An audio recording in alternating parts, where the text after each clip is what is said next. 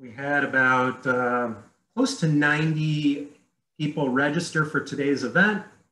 We're up to 55 and it seems to be tailing off. So we're almost five minutes past the hour. I think I'll, I'll jump right in.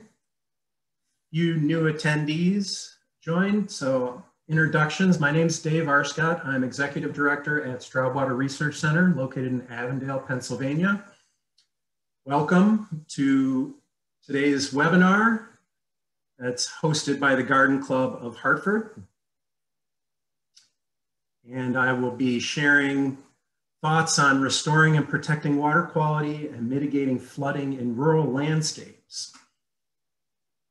And have some pictures on my cover slide here that illustrate some of the work that Stroud Water Research Center is involved with in rural landscapes, in planting trees along streams, working with farmers and uh, farm field management and helping manage stormwater runoff and other uh, aspects of these rural landscapes.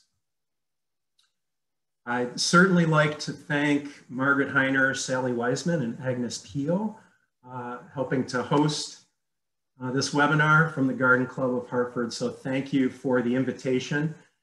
And I look forward to sharing the details over the next hour.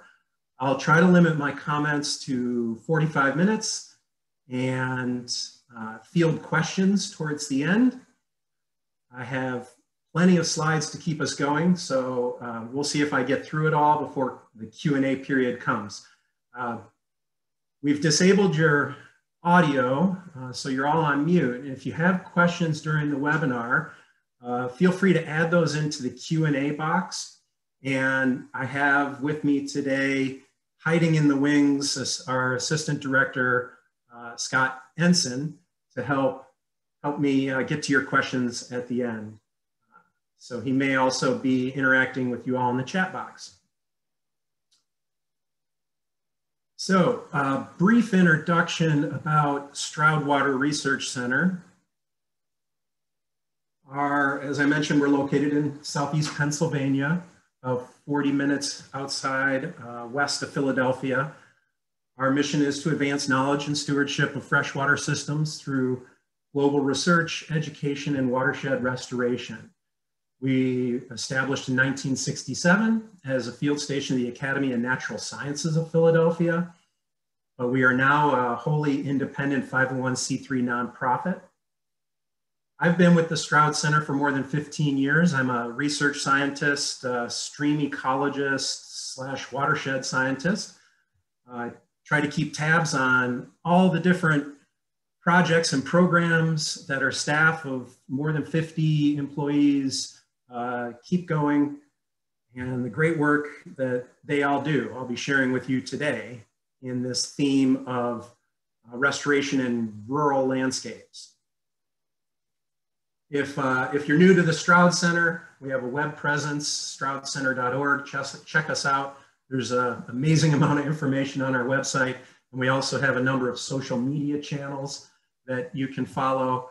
And uh, on our website, we have an events page that announces future webinars and events, uh, just like this one. So check those out if you're interested in hearing more and connecting with us.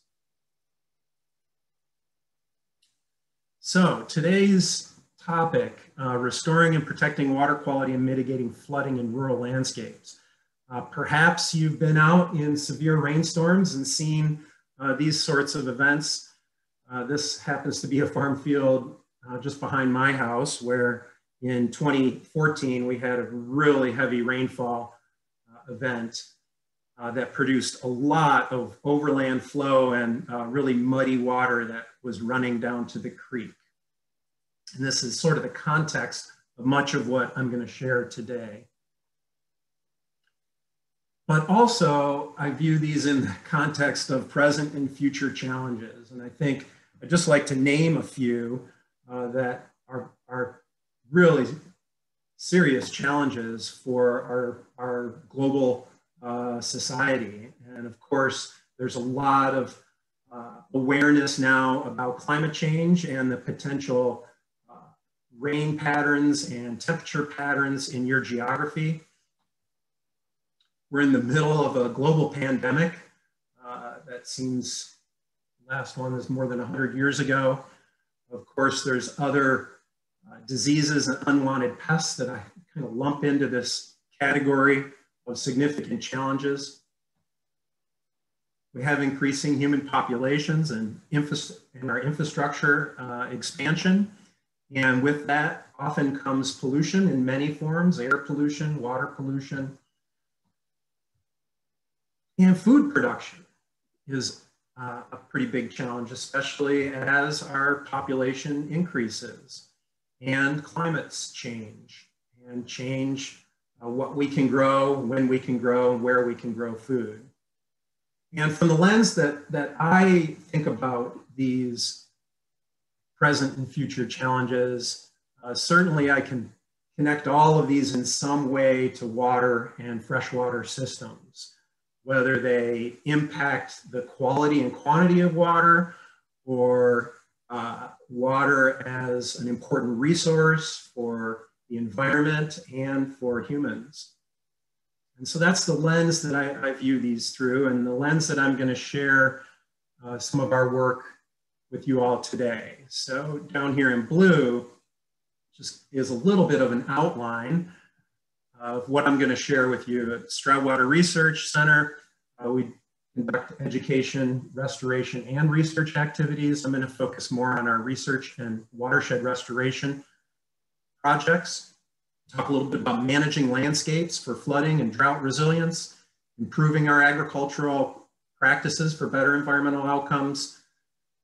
Get into some uh, of the concerns about what we term emerging contaminants like pesticides and other chemical compounds that we're finding in the environment and thinking about not just the environmental health risk, but the human health risk uh, of those emerging contaminants. And I'll end with uh, presenting a little bit on new and emerging crops and thinking about environmental impacts of those.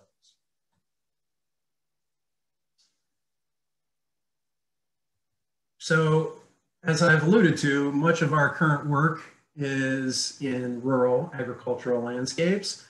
And I will be specifically talking about stormwater runoff management to reduce flooding, building better soil health for agricultural production. Uh, we have a new couple new projects uh, that we're involved with looking at emerging contaminants, specifically neonicotinoids and PFAS polyfluoroalkyl substances that you may or may not be aware of. Uh, and I'll see if I have enough time to share with you uh, some of the new work we're doing around uh, hemp and hemp production, hemp fiber production. A little bit more context here.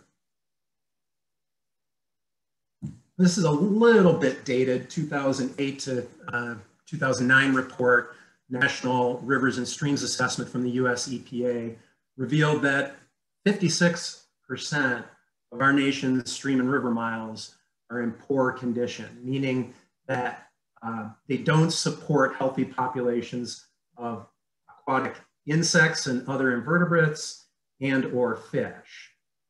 And that report identified many different stressors and reasons for those problems that relate to chemical stressors and physiological, uh, physical stressors, like excess streams, bed sediments, and uh, habitat uh, impacts, riparian vegetative cover problems, and riparian disturbances.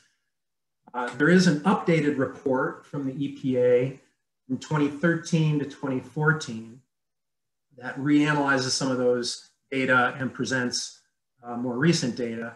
There's, a, there's also an, another assessment underway uh, that was carried out in 2018 and 19, uh, but the results haven't been published yet. Uh, this might be a little challenging to read on the screen. The top panel there uh, is the good, fair, poor, and, and not assessed estimates of percent of stream miles in each of those categories for macroinvertebrates the middle panel is for fish, and the bottom panel is for phosphorus. And the main point here is that in 2013-2014 report, um, there were still um, significant stream miles in poor conditions. And in some cases, like for fish, this red bar over on the right side suggests that things have gotten a little bit worse for fish. 10% more stream miles were identified as degraded for fish. And the same is for uh, phosphorus down here on the bottom, about 10% more. And um, I'm just showing macroinvertebrates, fish, and phosphorus, but that report also looked at these other stressors uh, over to the right that I've listed. So why, uh, why is, uh, what, what, what are the reasons that our streams are in such poor condition? Uh, well, of course, it depends on where you are uh, and what's going on in the locale.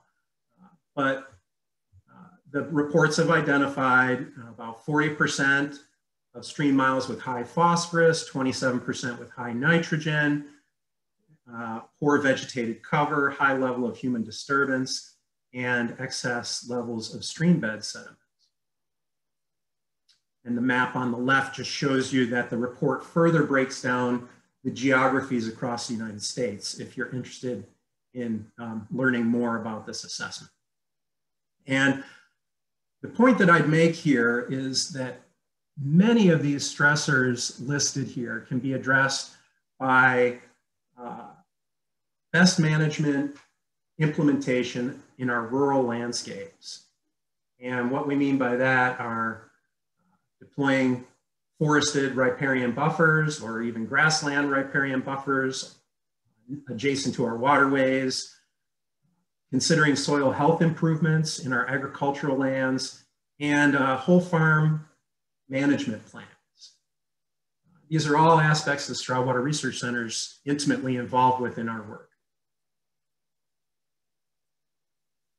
And that, that takes on another level of impact, that work, when we consider how much agricultural land there is throughout the United States. The picture on the left highlights those agricultural lands extending down into Mexico and up into Canada uh, and shows the extent of that our agricultural lands in that bright green uh, color.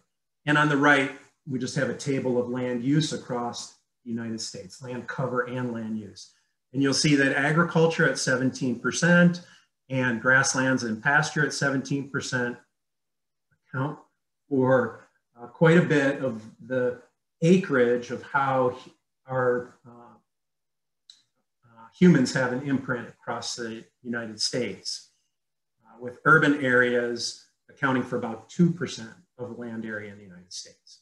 So there's a, there's a lot of work, a lot of territory to cover here by working in the rural landscapes and a, a huge potential to fix or reduce the problems facing our uh, freshwater systems. Uh, this next slide sort of shows our philosophy in how we move through understanding how natural streams and rivers and watersheds function, recognizing that our watersheds are impaired or have some degradation or altered, and that we recognize that our restoration activities uh, may not fully restore watersheds to their natural condition. Uh, so that, that ending point in our restoration work may not necessarily be to return to a completely natural watershed. It's just not realistic. Uh, here, our society needs agricultural lands for production. We need our urban environments and our cities.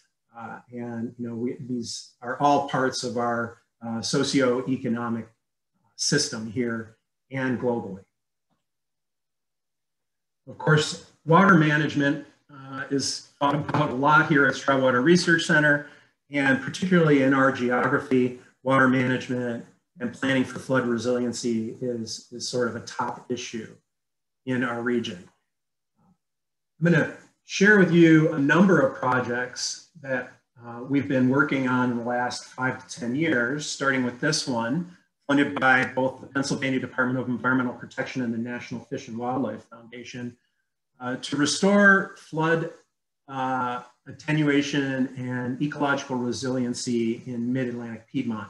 And here we focus on a watershed right outside the door of Stroud Water Research Center, namely the east branch of White Clay Creek, which flows into the Delaware uh, River at Wilmington, Delaware. And the picture there shows a farm field up on the left, uh, just coming out of winter into spring uh, after some heavy rains. A best management practice that we've installed at the uh, sort of the bottom slope of that farm field called a uh, swale or a level spreader. And then to the right of that, uh, some tree tubes that are uh, where we're planting our riparian uh, restoration project, riparian forest buffer. And in this small watershed, uh, we've, we've created sort of a demonstration condition where we've deployed as many BMPs as we can with uh, quite a bit of support from our local landowners that have allowed us and uh, allowed us to work on their lands and, uh, and help uh, deploy these strategies. So this project resulted in about 75 acres of forested riparian buffers, three miles of these swales throughout the watershed, typically at the base of a row crop field. We've restored about an acre and a half of a floodplain wetland adjacent to White Clay Creek.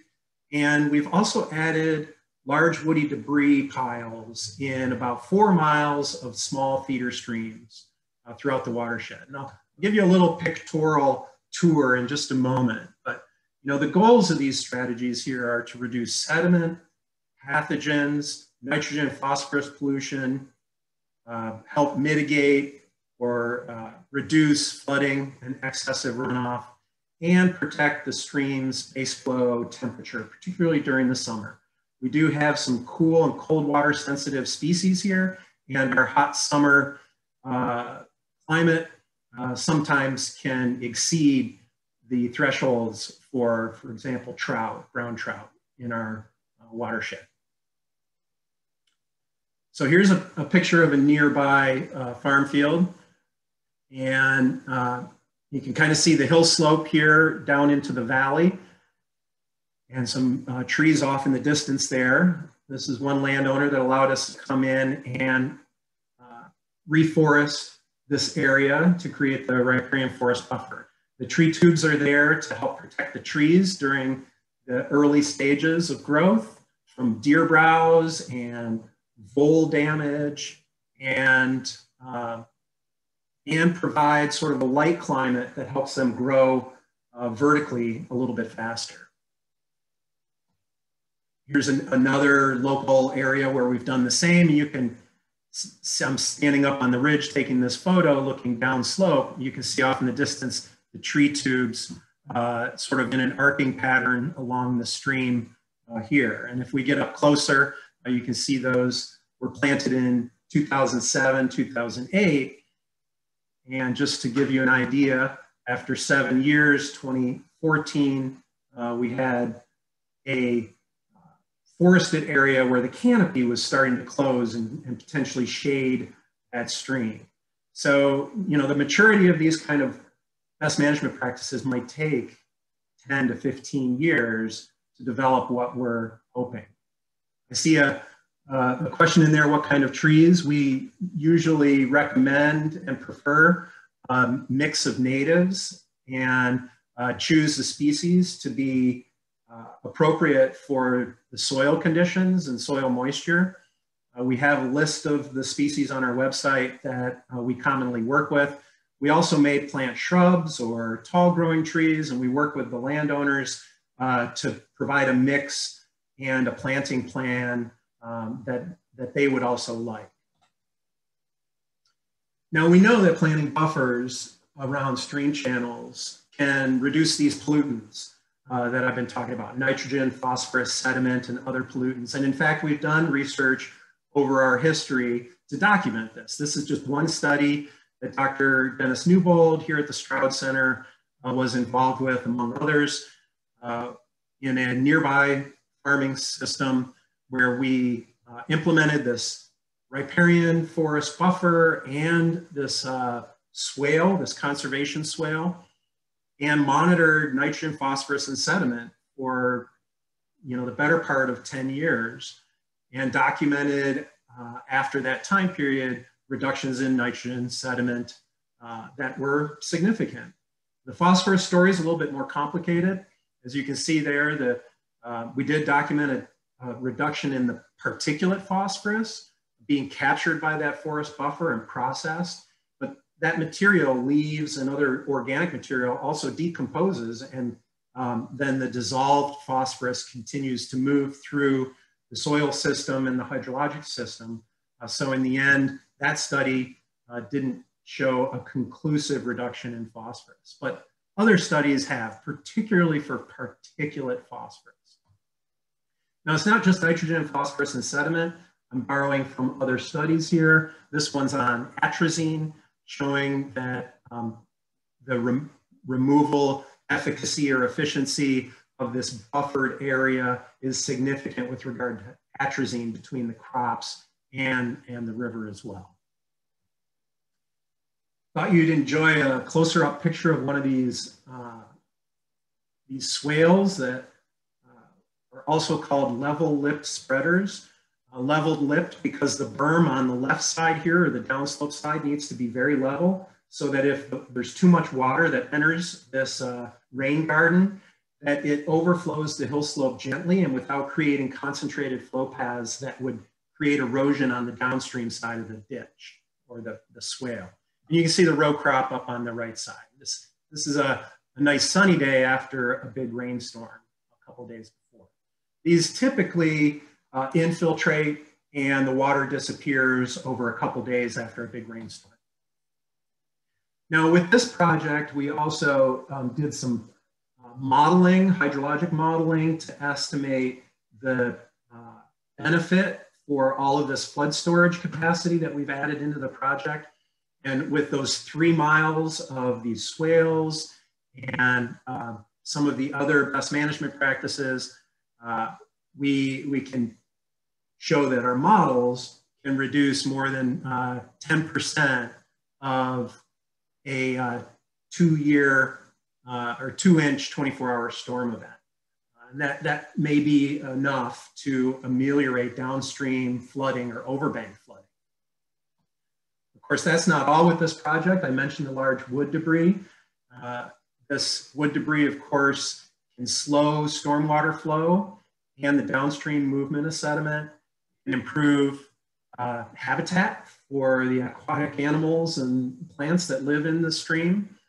Uh, and it can alter the processes that form and shape the stream channel, uh, which also has some benefits for the habitat and aquatic life.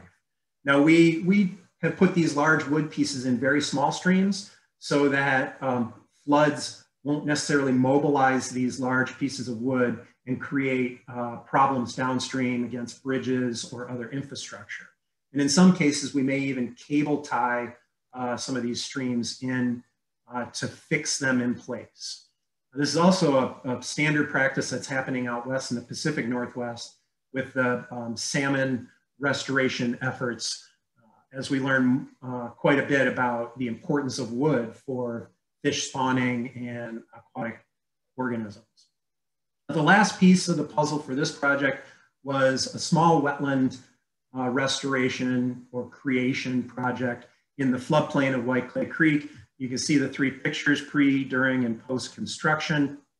Uh, this was sort of a pocket wetland that uh, was sculpted out of the low-lying landscape adjacent to the stream to um, allow for overbank flooding uh, to be captured and stored in this wetland for a period of time and as the floodwaters recede, then that water slowly moves back into the channel.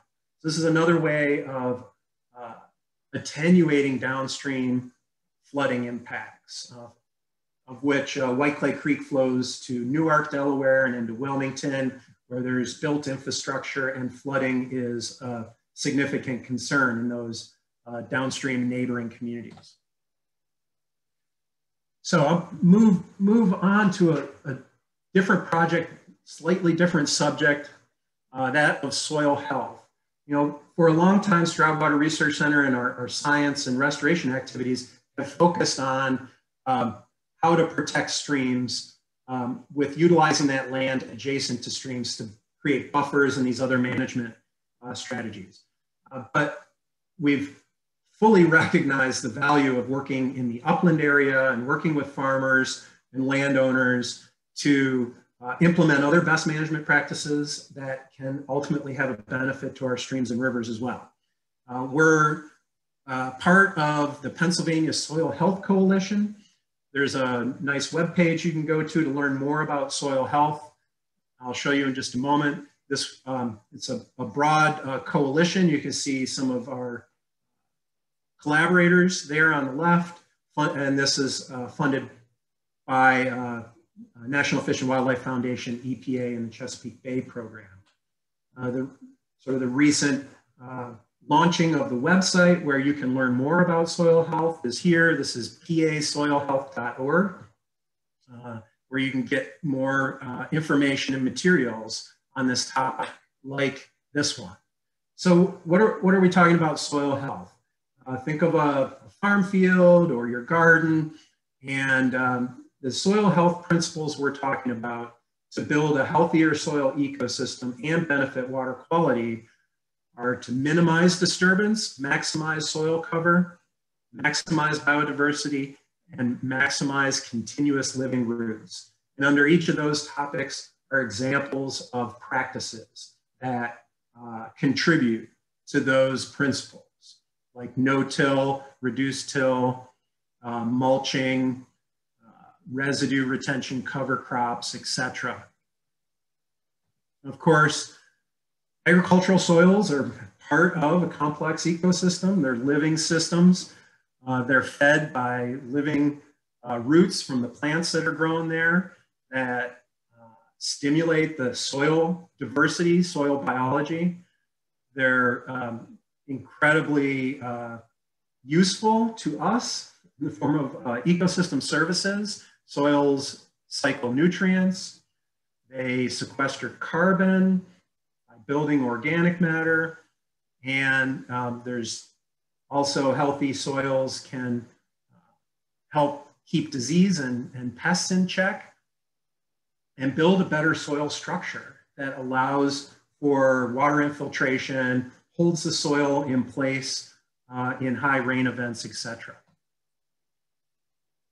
And for, um, so really one of the prime metrics of soil health is how much organic matter uh, or carb, organic carbon is stored in that soil. The more we till, the more we leave our soils bare, the more that um, organic material is decomposed and has burned off over time.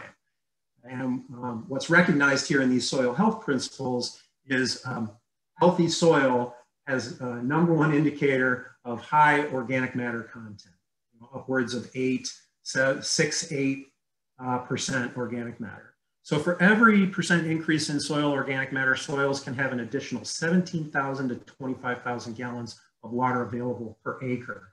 Uh, so if, um, if you're growing corn or other crops, that's water that's available to your crops that you don't then need to irrigate during um, times of drought, particularly maybe during the onset of drought. There's a lot of measurements going on uh, to document these, documenting the uh, organic, the organic material in soils, documenting how well these soils infiltrate water. Here's a picture of a double ring infiltrometer that's placed into the farm field or the ground, sealed tightly with the ground, and then you come out with a very large bucket of water and you fill that center ring up until uh, it's sort of stable and you turn the water spigot off start a stopwatch and, and count how, how many seconds, how many minutes it takes for that water to infiltrate uh, through the ground. You do that many, many times and you get some average rates. And, you know, in, in some of the soils with higher organic matter, uh, these soils are infiltrating, you know, four to six inches uh, per hour. And uh, that's a, really quite a remarkable infiltration rate. that can help in stormwater management. You know, one of the uh, leaders in the soil health movement, Ray Archuleta, says, you know, we don't have a runoff problem, we have an infiltration problem. And that's a direct uh, uh, remark to, towards the importance of building soil health in our agricultural lands. Uh, there's, there's plenty of data out here that show uh, infiltration rates and different types of uh, crop or field management practices. Here's one such study that compares the percent change in infiltration rate for different ways that uh, croplands or grazing lands are managed. And we can see uh, cover cropping, perennial cover on those lands, uh, grazing exclusion and grazing management techniques uh, have increased the infiltration rate in some of those systems. So less runoff means less flooding. Less flooding means less sediment delivery or less runoff also means less sediment delivery, uh, less nutrient delivery. You know, excess sediment in our streams leads to loss of habitat, changes in stream morphology, and uh, not just the delivery of nutrients, but also other things that may come off the landscape, either attached to the particles or dissolved, pesticides or other potential contaminants. And the more we infiltrate, the more water goes to our groundwater and um, groundwater is recharged. Uh, and that groundwater system can also filter some of our pollutants and process some of the pollutants. Uh, groundwater feeds our streams during the hot summer months, hot, dry summer months. Uh, so it helps provide base flow to our streams, particularly in summer. And uh, it can also help keep that water temperature at a cooler level as, as that system, water moves through the ground system. So the more uh, of these practices we put out there, uh, the less nutrient loss we have. Uh, it's not just about building up healthy soils, it's also about helping uh, manage the decision process of how much fertilizer and material to put on the farms. Only about half of the nitrogen fertilizer applied to our crops is actually absorbed by the crop itself, and the rest either infiltrates the ground or runs off or is burned off in some way. Uh, there's also issues with uh, phosphorus as well, uh, as I've already mentioned. And of course, the nutrient loss off of our fields and open spaces uh, can drive excessive algal growth in our streams and lakes and ponds and rivers as well, and create these nuisance or harmful uh, algal blooms in some cases that you may be hearing about. Cover crops is one of those best management practices that has been shown to help reduce uh, nitrate that moves off the farm fields. Here's a figure showing uh, different cropping systems with cover crops against the no cover crop system. And you'll see that the pore water nitrate concentration is highest in the field with no cover crops. Uh, pore water is that water that's available in the soil, um, but not fully um, moving down into our groundwater. So at the, at the Stroud Center, we've been studying cover crop, no cover crop, among other things. Here's one of the field trials nearby the Stroud Center where we maintain one field in no cover crop and another in cover crop. I'm going to move into um, sharing with you some of this work uh, with a number of different projects we have. Uh, one of the one of these projects on the field I just showed you in the photo uh, is funded in the past by uh, United States Department of Agriculture Conservation Innovation Grant uh, Program, and now the Prince Albert uh, the second of Monaco Foundation with some follow-up studies. Uh, the map here is just showing where those farm fields are. Uh, the Stroud Center is, is located at the bottom center of your screen here. So um, we can easily get out to these fields and do our field research. Uh, we have another study site uh, at a place called the Stroud Preserve. It's about 20 minute drive from the Stroud Center uh, where we're collaborating with the Rodale Institute. They're um, fairly well known for um, their organic farming uh, practices and communicating about organic farming. This study is funded by the William Penn Foundation to uh, document and evaluate the differences between your traditional cropping uh, system, uh, like a conservation no-till, conservation till, and organic treatments. As we think about infiltration, soil health, runoff, and stream water quality uh, in this particular setting. This study is about three years old now, so I don't have um, the results to show you yet, as introducing these practices takes some time to get robust uh, data. But I will share with you a couple highlights from the cover crop, no cover crop. At the edge of these fields, we've installed these wing dams to collect runoff or concentrate runoff coming off of those fields through a, a weir or a point there, that black V-shaped weir, where we can stick a bottle under and collect water uh, during, an, uh, during storm events. And when we look at cover crop water, we see the bottle on the left. When we look at no cover crop water coming off those fields, we see the bottle on the right. One's uh, a little bit heavier with sediment than the other. We can analyze uh, that in, in our lab for various things for the suspended sediment that's there. So the top bar here shows uh, the cover crop on the left in the uh, in the white box and no cover crop in the gray box.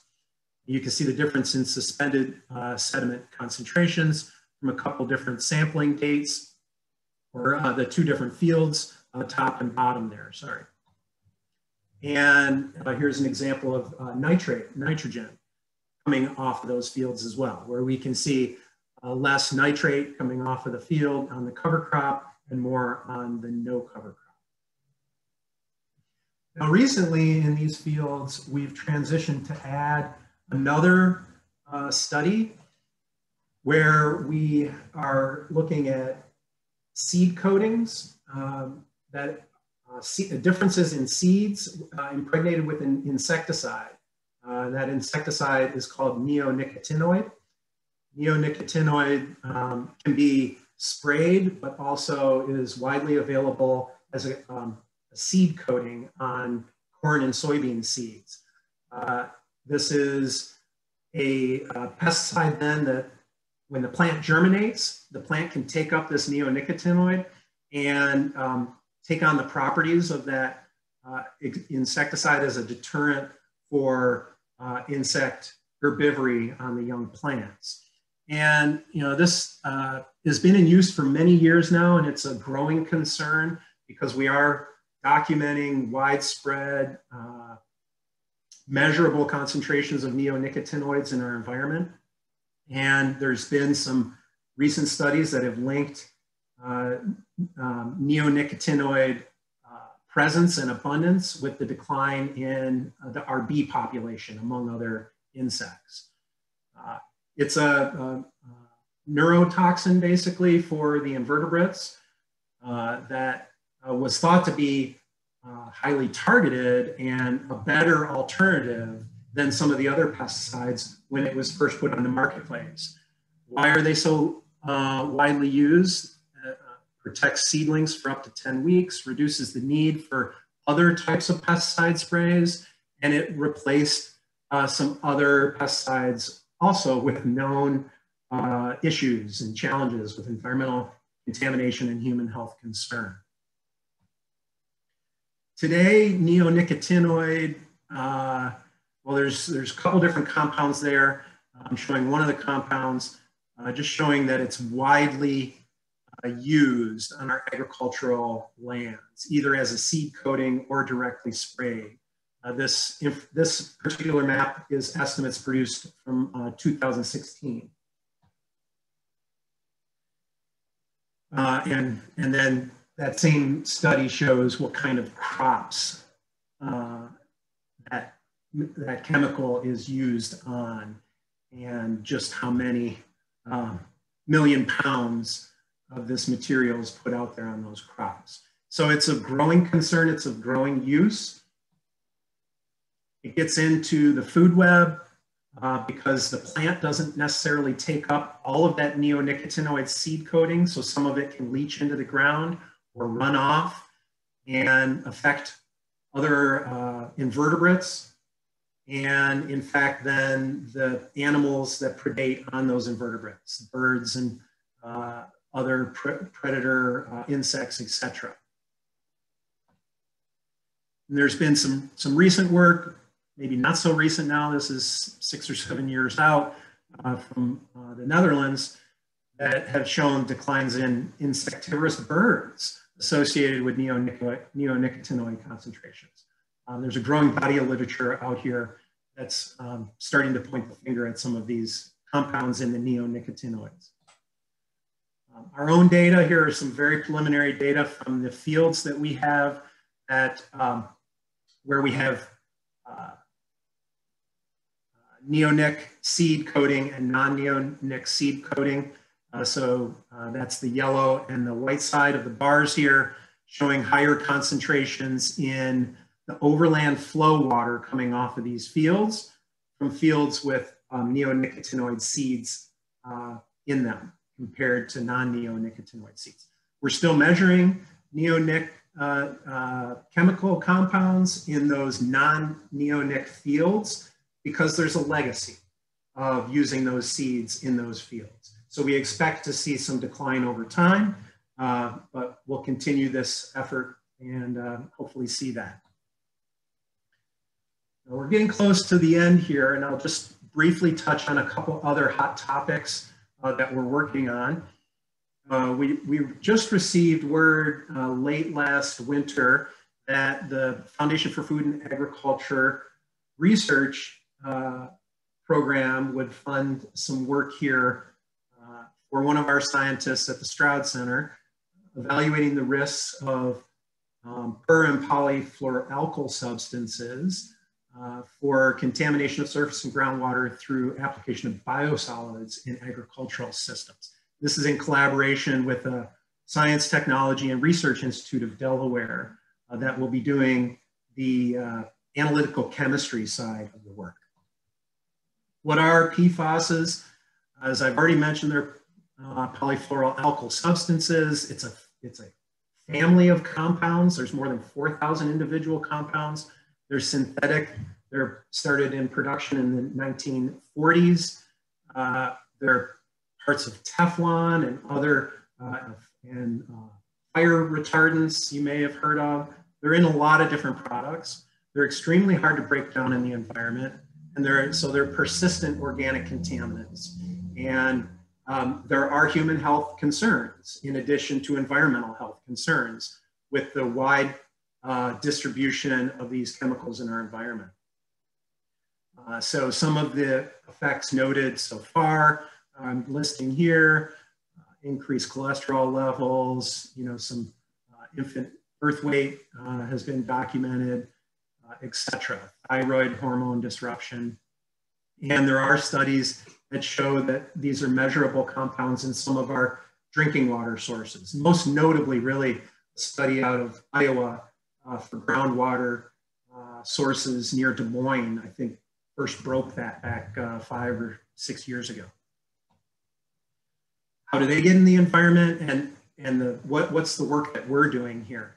So PFASs are fairly ubiquitous and are, um, we may have them in our homes in addition to fire retardants and Teflons. They move through our waste stream to our wastewater treatment plants, to the landfill. And uh, those then find their way into leachate in the ground. Uh, when they go through a wastewater treatment plant, uh, wastewater treatment plants uh, also provide a service. They provide biosolids that can be a fertilizer to apply to our farm fields. So if, if our wastewater treatment plants have high concentrations of PFAS or even low concentrations of PFAS, but magnified over the uh, treatment process. And biosolids are spread on our landscapes as fertilizer. There's a route of contamination that we're interested in understanding more about. So this study is just getting off the ground. We are, um, you know, this, this is just the preliminary we, work we did to identify the potential in Pennsylvania. Um, these are the wastewater treatment plants that are permitted to produce biosolids for land application. our colleagues down in Delaware have recently looked at PFAS concentrations in biosolids from wastewater treatment plants in Delaware and note that they're measurable. And the question then becomes, you know, are they also um, becoming a concern in our agricultural landscapes? So, you know, we will be doing some synoptic studies to uh, survey farms in Pennsylvania that are accepting biosolids as fertilizer for spread on uh, croplands and doing samples there uh, and, and look at how that material may move through those farm fields if we do find PFAS. And our uh, collaborators will be developing some more analytical methods uh, for more easily quantifying these compounds. All right, I'm a little bit over, but I'm almost there. And I'll just quickly share with you uh, the work we're doing here at the Stroud Center involved with hemp and hemp fiber production. Our goal here is to better understand uh, how hemp crop influences soil health and water quantity and quality availability. Uh, there's, there's a lot of literature out there about possible environmental benefits of hemp. And keep in mind here, I'm focused on hemp fiber and maybe hemp uh, grain production, um, not the uh, THC impregnated marijuana crop that's grown for uh, medicinal marijuana and now recreational marijuana in some geographies across the United States. Uh, of course, hemp fiber uh, can be uh, find its way into many different products and have a lot of value for our purposes are, and also maybe a more uh, sustainable crop than fiber from cotton or jute or other uh, alternatives. Here we're just looking at seeding the farm field outside the Stroud Center with uh, the hemp seeds. This is a project in partnership with a number of other organizations. Uh, Jefferson University is interested in understanding the hemp fiber material for things like its uh, tensile strength and its appropriateness for different textiles, etc. So it's a, a, nice partnership here. You know, the purported environmental benefits of hemp fiber and hemp, hemp crops in, in our environment or in our farming system have been to increase diversity within the cropping system, uh, that those roots then leach uh, material into the soil that might be beneficial for microbes and improve soil health. They do have a taproot that has been documented to get up to maybe three feet in some plants that can help improve infiltration uh, and soil moisture retention, etc. Uh, may be able to draw nutrients from deeper in the soil to upper layers and then subsequent crops might be able to benefit from that translocation of nutrients. Uh, and there's, there's, so there's been many benefits that have been suggested and, and some of them documented, some of them not so well documented. Uh, hemp is naturally resistant to insect pests and predators, so there may be less need for herbicides in this crop compared to cotton or other fiber crops. Um, there's not enough of it grown yet uh, across the landscape, to have um, widespread pest damage reporting and a huge need for pesticides. And in fact, there's no uh, pesticides that have been approved by the USDA or the, um, uh, the certification programs yet for uh, pests on hemp plants. It grows so rapidly it may suppress weeds uh, and reduce the need for herbicides to kill off the weeds. it's a little weird talking about hemp and weeds, but uh, anyway. Um, and there's potential here, uh, benefit here for carbon sequestration. Uh, of course, this depends on the fate of the plant and uh, where that material goes for the long-term storage of carbon, but it's hugely efficient at uh, sequestering CO2 from the atmosphere into the plant, more so than some of uh, similar sized trees out there. it's less water intensive compared to cotton, but it does require water at the right time, particularly during germination and uh, early stages of growth. So it's, it's sort of a new uh, emerging potential crop that may be more widespread in its cultivation. We're trying to get out in front of ahead of the curve here to understand implications for the environmental benefits, soil health, water infiltration, uh, and uh, sort of nutrient and carbon sequestration issues. Uh, just a, a, quick video to end here on the field uh, outside the Stroud Center where we, we did have a couple acres of the hemp fiber grow this summer. We'll be planting again uh, this, this spring and continuing our research uh, in this area as well. And that's